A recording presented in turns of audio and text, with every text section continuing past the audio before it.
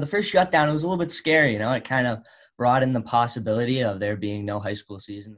Now that hockey is back, players, coaches, and spectators must follow a new set of rules to play. To be dressed before you go into the rink, so everybody has their their full gear on except for the skates, um, and you walk in uh, and you like you sign a sheet. Now most places they'll take your temperature.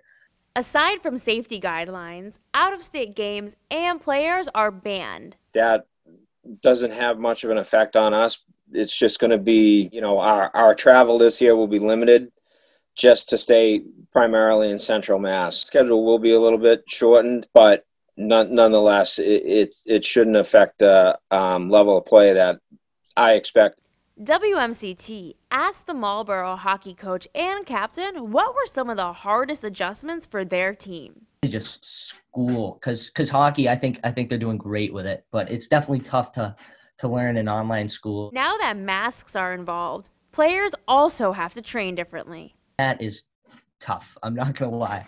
You know, the mask will get wet, it'll get like sweat on it, uh, and you just have to kind of play through it. So, uh, what I did personally, I was going on runs, and I would just wear a mask and just to kind of get, I guess, acclimated to it a little more. Coach O'Brien says the restrictions may impact youth players the most.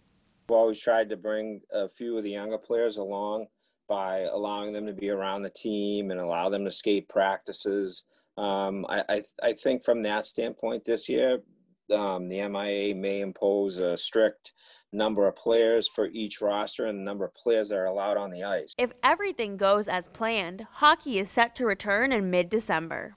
In Marlborough, Stacey Sergasoon, WMCT News.